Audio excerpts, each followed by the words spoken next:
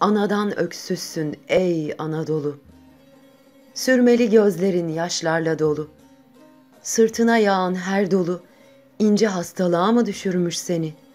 Diyerek adına ağıtlar yakılan Anadolu için ağlıyor halk o günlerde. Ruhumuzda derin bir uçurum, içimiz yangın yeri diyor Anadolu. İstanbul işgal edilmiş. Halkın perişanlığı, ümitsizliği içler acısı. Ciğeri yanıyor Anadolu'nun, gözyaşları içinde halk. Gün geçmiyor ki bir kahvede, bir pazarda hor görülmesin. Gün geçmiyor ki kendi vatanında ezilmesin. Halkı böyle yorgun, umutsuz, perişanken gazetelerden birinde bir manşet. Türk komutan itiraf devletlerine karşı yeniden harbe hazırlanıyor.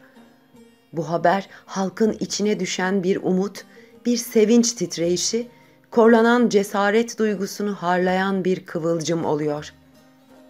Mustafa Kemal isminde bir Türk komutan dillerde şükür oluyor. O andan sonra halk büsbütün farklı bir ruha bürünüp o dakikadan sonra çelikten inanç zırhını kuşanıp vatanın özgürlüğü, topraklarının kurtuluşu için o muzaffer komutanın emrine giriyordu. Yaşı kaç olursa olsun halk kurtuluş yolunda akın akın ilerliyordu. Kadını erkeği, kızı kızanı için durdurak yoktu artık.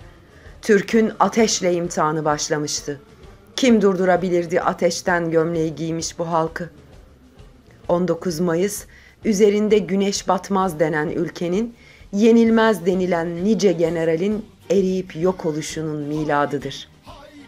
Bir insanın bir millet haline gelişi, bir milletin bir insanın ruhuna bürünüşünün adıdır 19 Mayıs.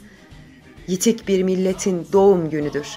Farklı ırkların, inançların tek vücut olup dağ gibi düşmana durup sel gibi onları silip süpürmesidir 19 Mayıs.